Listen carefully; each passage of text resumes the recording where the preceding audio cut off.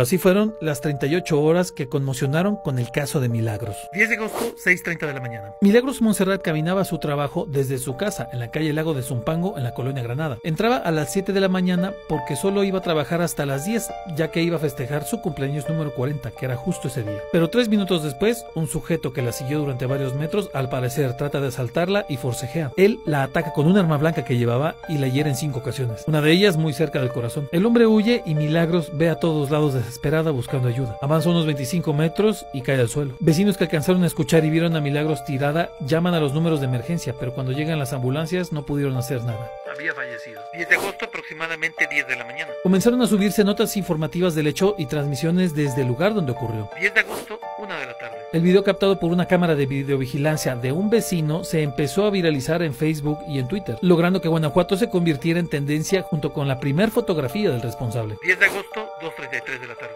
La Secretaría de Seguridad, Protección y Prevención Ciudadana de León, Guanajuato, tuitea que no fue un asalto, sino que fue un ataque por rencillas personales. Pero poco después, familiares de Milagros rechazaron esta versión. Aseguraron que fue un asalto. 10 de agosto, 7.14 de la noche. Nayib Bukele publicó un tuit con el video del homicidio de Milagros y con él un mensaje reprochando a las ONGs que protegen derechos humanos. 10 de agosto, 9.20 de la noche. En redes sociales se comenzaron a difundir las fotografías, nombres, incluso teléfonos y domicilios de Miguel, señalado como responsable de la muerte de Milagros. Minutos después, varias personas llegaron al domicilio en la colonia La Moderna para intentar encontrar a Miguel. Luego llegaron policías y agentes de la fiscalía y acordonaron toda la zona, aunque no tenían una orden para entrar al domicilio. Luego confirmaron que no había nadie en la vivienda porque horas antes Miguel y sus familiares habían huido de ese domicilio donde tenían casi un año rentando. La zona duró varias horas vigilada por agentes de la ministerial. 11 de agosto, 6.30 pm. Se difundió un nuevo video de Miguel con la misma ropa alejándose del lugar donde cometió su crimen. 11 de agosto a las 8.15 de la noche. Mediante llamadas telefónicas al sistema de emergencias de Guanajuato Capital se enteran que una persona con las mismas características de Miguel estaba en una gasolinera en la zona de Noria Alta. Minutos después, policías municipales y agentes de la fiscalía acuden para detenerlo. No iba en ningún vehículo, solo estaba en ese lugar, llevaba 3 mil pesos,